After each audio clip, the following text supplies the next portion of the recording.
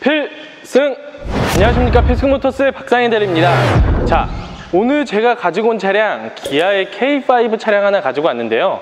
K5 같은 경우에는 2009년부터 나오면서 굉장히 많은 인기를 끌었던 차량 중에 하나입니다. 그 중에 가장 K5 중에 가장 호평을 받고 있는 이 1세대 차량은 디자인이 굉장히 이쁘다고 또 소문이 나 있는 차량이기도 합니다. 자, 지금 영상에서 보시다시피 흰색 바디에 파노라마 썰루프까지 들어가 있는 차량입니다. 그렇기 때문에 굉장히 세련되어 있는 모습 보여지고 있고요.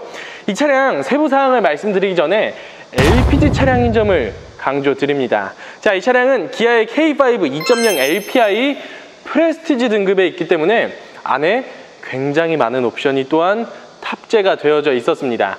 그리고 K5의 유일한 단점 중에 하나가 LPG 엔진은 이제 11년식 전 모델 같은 경우에는 세타 엔진이 들어가요. 그렇지만 고질병이 워낙 많았던 차량이기 때문에 대부분 뭐 수출로 떠나보냈던 차량들이 굉장히 많았었는데요. 2012년도부터는 누 엔진이 들어가면서 굉장히 좋은 엔진이 들어가 있죠. 자, 이 차량 역시나 누 엔진이 들어가 있고요. 2013년식 키로수 9만 킬로밖에 타지 않은 아주 변태 같은 녀석입니다. 연식 대비 키로수도 굉장히 좋다고 말씀드릴 수가 있고요.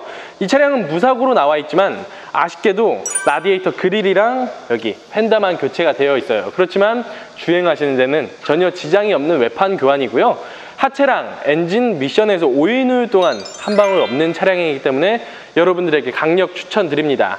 자, 저희는 이 차량의 금액을 800만 원 초반에 가지고 나왔습니다. 키로수가 워낙 적은 모델이기 때문에 금액대는 조금 있는 차량인데요. 키로수 적은 거 좋아하시는 변태 같은 분이 구입하셨으면 좋겠습니다. 앞쪽부터 설명 한번 드릴게요. 자, 헤드라이트, 안개등, 데이라이트까지 이렇게 들어가 있는 모습 보여주고 있고요. 가끔 K5 디럭스나 럭셔리 모델 보면은 이 데이라이트가 빠진 모델이 있어요. 그렇지만 K5 하면은 데이라이트까지 있어줘야지 아, 이 사람이 풀옵션의 차를 타는구나 라는 걸 볼 수가 있고요. 타이어 상태 같은 경우에는 한 20% 정도 남아 있습니다. 휠 컨디션 보여주시면은 끝쪽에 조금의 기스 있는 점은 보여주고 있고요. 사이드 미러에 사이드 리피트 잘 달려 있고요. 앞쪽 휀다부터 뒤쪽 휀다까지 외판 상태 한번 볼게요.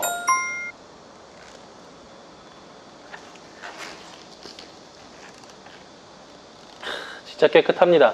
광낸 지 이제 이틀 된 차량이에요. 정말 깨끗한 상태 유지를 하고 있고요.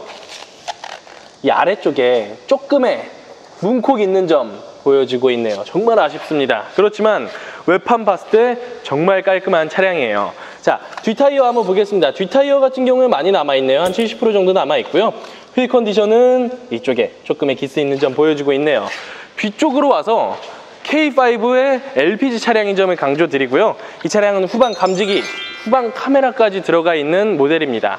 아쉽게도 뒤쪽에 썬팅지는 조금 들떠 있는 모습이 보여주고 있지만 썬팅지 같은 경우에는 저희가 굉장히 저렴하게 업체 소개시켜드려서 재시공까지 도와드리도록 하겠습니다. 자, 트렁크 한번 열어보겠습니다. 트렁크 한번 열어보면은 LPG 차량이기 때문에 LPG 가스통 이렇게 덮개로 막아놓은 점 보여지고 있지만 LPG 차량 같은 경우에는 어, 트렁크 공간이 작다고 생각하시는 분들이 있는데 어, 맞습니다. 작긴 작은데 골프백 하나까지는 들어갈 수 있는 공간이 충분히도 나와요. 그렇기 때문에 뭐 이용하시는 데는 불편하실 건 없을 것 같고요. 아래쪽에 스페어 타이어랑 치공구 들어가 있는 모습 보여지고 있었습니다. 이 프레스티지부터 LED 데루등이 나옵니다. 그렇지만 디럭스, 럭셔리 모델 같은 경우에는 LED가 아니라 그냥 전구로 되어 있는 K5들이 가끔 있어요. 저는 그런 차량 보면은 아 뭔가 렌트카 생각이 나고 낮은 등급의 차량을 타는 그런 느낌이 확 들거든요. 그렇지만 이 차량 LED 대류등까지 들어가 있기 때문에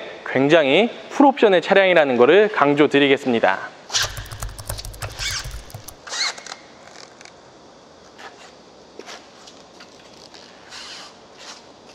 자, 이쪽 한번 보여주시면은 이 바퀴 위에 조금의 스크래치 있는데 붙일해서 티가 나지 않는 점 보여지고 있고요. 문짝 쪽에 조금의 문콕, 그 다음에 앞쪽에 조금의 스크래치 있지만 굉장히 사소한 부분이기 때문에 어, 신경 쓰지 않으셔도 괜찮을 것 같습니다. 자, 지금 저랑 같이 휠, 타이어, 외관 상태를 한번 보셨는데 이제 안쪽으로 들어가셔서 더 많은 옵션이랑 가죽 상태도 보도록 할게요. 주름지거나 해지거나 찢어진 부분 없이 너무나도 좋은 가죽 상태를 유지하고 있습니다. 제가 봤을 때는 2열에 거의 많은 사람들을 태우지는 않았던 것 같아요. 자 암레스트 쪽 역시도 굉장히 좋은 가죽 상태 유지하고 있고 2구 컵홀더 들어가 있고요. 그 다음에 뒷자리 통풍구 들어가 있는 점 보여지고 있고요.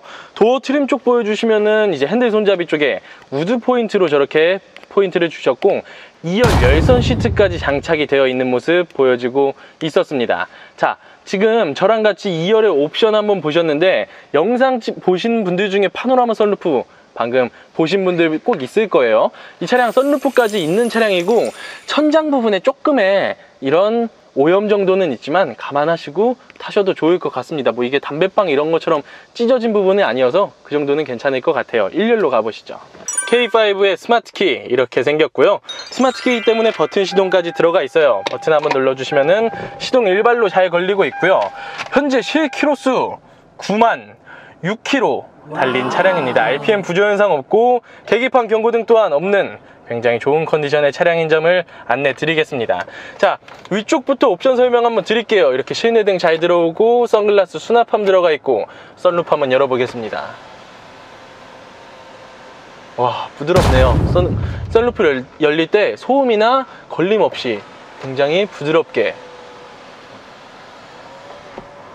어, 굉장히 부드럽습니다. 굉장히 부드럽게 잘 닫히고 있고요. 아래쪽에 하이패스 룸밀러 들어가 있는 모습 보여지고 있고요. 자 뒤쪽에 LCD 블랙박스 그 다음에 뒤에도 있어갖고 총 2채널의 블랙박스를 가지고 있다는 걸 보여주고 있고요. 대시보드 쪽 보여주시면은 상당히 깔끔한 컨디션 역시도 유지를 하고 있었습니다. 자 센터 페시아 쪽에 내비게이션 설치가 되어 있고 지니 내비게이션으로 설치가 되어 있습니다. 자 아래쪽에는 에어컨 트립이 나와 있는 점 보여지고 있습니다. 현재 저희가 에어컨 틀어놨는데 굉장히 시원한 에어컨 바람도 나오고 있었고요. 오디오 같은 경우에는 이렇게 내비게이션에 동기화돼서 잘 나오고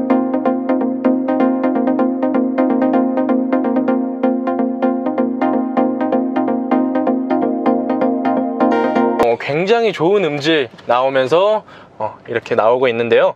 오디오도 이렇게 연동되어 있는 차량들이 있어요. 그래서 오히려 이런 것들이 조금 더 편하다고 말씀을 드릴 수가 있겠습니다.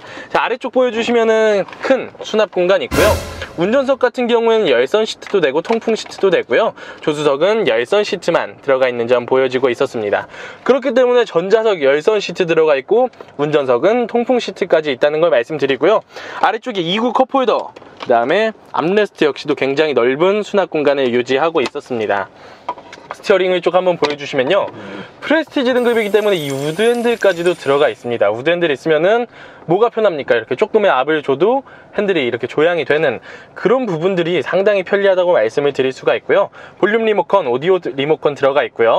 핸즈프리, 크루즈 컨트롤 기능까지 들어가 있고 뒤쪽에는 오토 라이트, 오토 와이퍼까지 들어가 있기 때문에 또 굉장히 많은 옵션을 탑재했다고 볼 수 있겠습니다. 전동접이 사이드미러는 물론이고 운전석 같은 경우에는 오토 윈도우까지 들어가 있기 때문에 굉장히 편리하게 이용하실 수가 있겠네요. 자 제가 뒤쪽에 후방 카메라랑 후방 감지기 있다고 말씀드렸는데 내비게이션 쪽으로 한번 보시죠. 자 후방 카메라 감지기 굉장히 선명하게 잘 나오고 있는 모습 보여지고 있고요. 미션 체크도 한번 해볼게요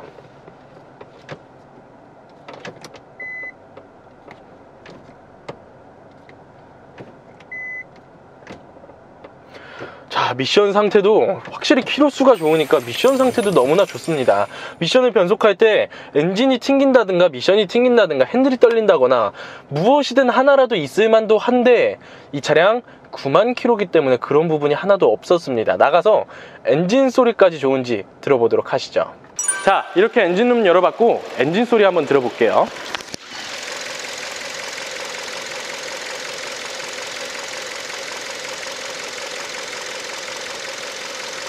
고질병 또한 없는 누우 엔진을 탑재하고 있었기 때문에 K5 안에서도 LPG 안에서도 굉장히 유명한 엔진이라고 말씀을 드릴 수가 있고요. 자, 이 차량 세부 사항을 다시 한번 말씀드릴게요. 기아의 K5 2.0 LPI 프레스티지 등급에 있는 차량이고요. 프레스티지 등급이기 때문에 파노라마 썬루프 스마트키 내비게이션 통풍 시트 등등 정말 많은 옵션을 갖고 있던 차량입니다.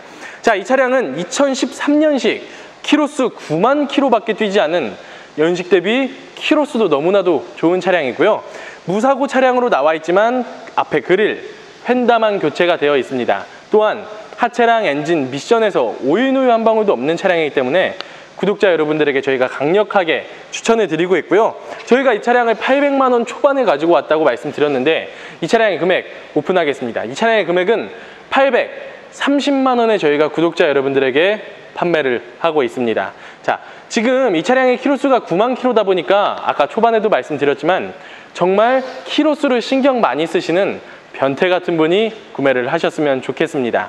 자, 저희가 K5 차량 말고도 다른 차량을 다수 보유하고 있습니다.